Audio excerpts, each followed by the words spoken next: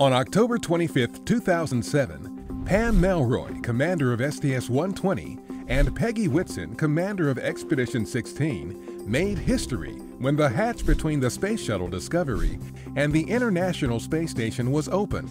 They became the first female commanders to lead both a shuttle and ISS missions concurrently. Another spaceflight first.